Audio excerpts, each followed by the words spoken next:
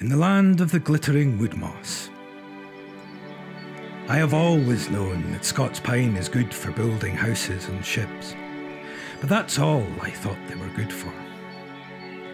Then, one day, whilst walking in Glengushkin, I tripped over an outstretched tree root, dislodged the catch on the amulet that I wore around my neck, and some of the pine pollen that carried within it flew up into the air, tickled my nostrils, and I sneezed an almighty sneeze.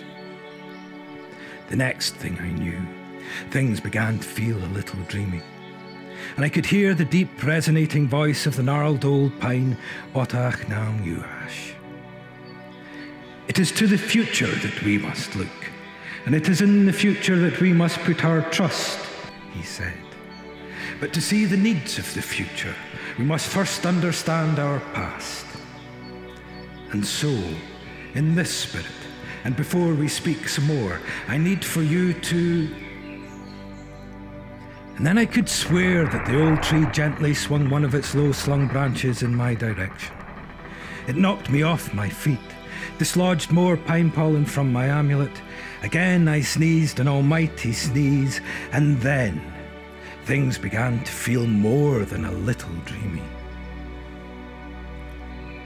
Something very strange was going on, and I wasn't sure where or when I was.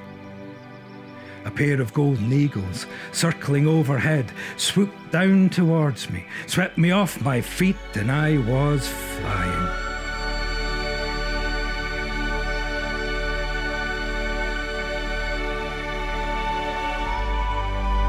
Down close by the canopy one minute, soaring high above it the next. We flew for miles and miles and miles. We saw both coasts and many a hill and glen betwixt and between. It was breathtakingly beautiful. The forest was so vast and looked so incredibly diverse that I was sure that there were plants and animals here that no longer existed in our time. Then I saw some of them. Down by the river, I saw brown bear fishing for salmon. High on the hill, I saw lynx hunting roe deer just below the crags. And then finally, I saw a pack of wolves in Glenushkin, resting from their day's activities. And a lone wolf, further up the hill, howled at the moon. The eagles took me out for three trips, each of them over the same route, but each of them at a different point in time. The first trip when the woodland was at its most extensive, was the most fantastic. The second trip showed a change in the extent of wooded land, but there were still large areas of intact woodland, and flying over it was still wonderful. By the time of the third trip, however, things were very different.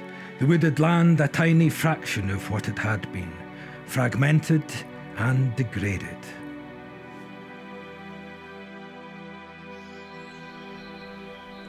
When we landed, I heard the deep, resonating voice of the gnarled old pine Boddach. As you have seen, the landscape has changed dramatically these last few thousand years. And now what is left of the original forest, beautiful though it is, is vulnerable to further change.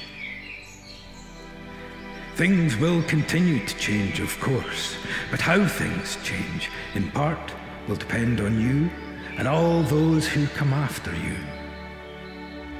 There was a moment's silence, broken by the thunderous sound of a capercaillie leaving its sleeping tree to fly.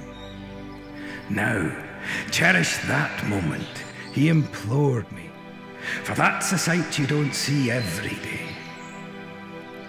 Then he showed me rare plants like twinflower, with its pairs of delicate pale pink and white bell-like flowers.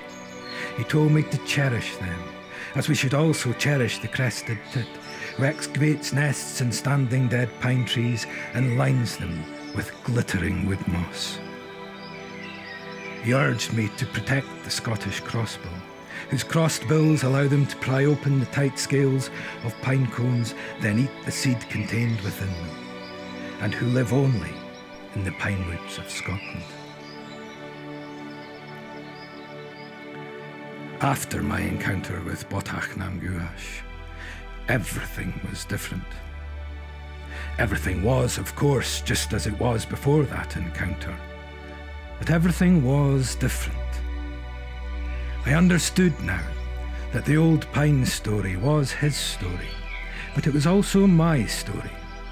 For our lives are now, as they have always been, intimately connected. His story, my story, is indeed our and your story. How precious, yet how fragile is life in these remnants of the Caledonian forest.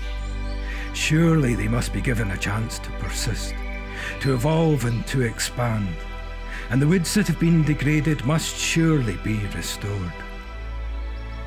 So I pass on the story of Boddach nam Guithas to you, for you to pass on and trust that between us we'll find a way to ensure that his story, our story, continues.